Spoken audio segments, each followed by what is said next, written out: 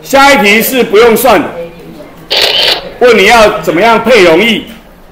他说要配置零点一大 m 的氢氧化钠水溶液，你要用什么方法去配它？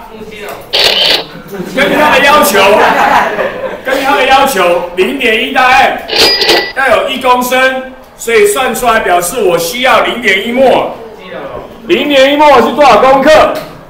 去乘以原子量或分子量，四公克。所以当我要配出这个溶液的时候，我需要拿氢氧化钠零点一摩尔，也就是四公克来。那要如何配？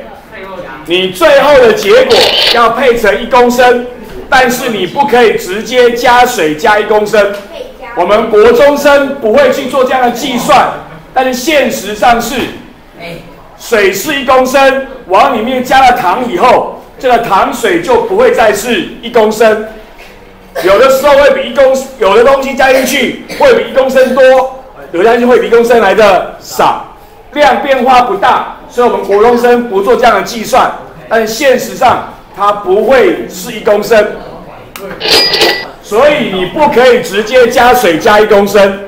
我们会，比如说我先加八百毫升的水，把它全部溶解之后，再往里面继续加水，加到最后的糖水，我的溶液是一公升。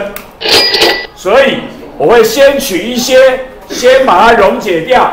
然后最后再加水，加到它溶液的体积是我想要的步骤，所以我们答案要选出，这是我们配置溶液的方法。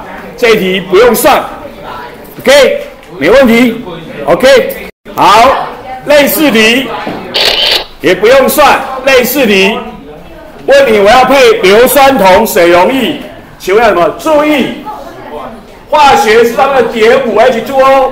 表示五个结晶水，表示一个 CuSO4 旁边抓了五个水，所以你在算分子量的时候，那五个水的分子量也要把它算进去，要那个五 H2O 要算进才才是它真正的分子量。OK，请问你我要如何配？其实这一题啊，这一题这一题用观念就知道答案多少了，其实不用算。啊，其实观念就知道答案多少，不用算。应该是哪一个？哪位帅哥美女起来吧。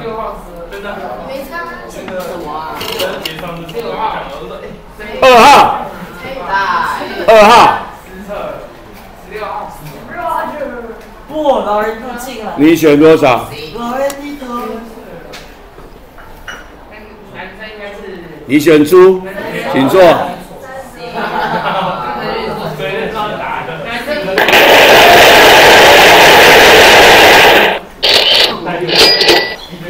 你最后要配成一公升一大 m，所以需要一末。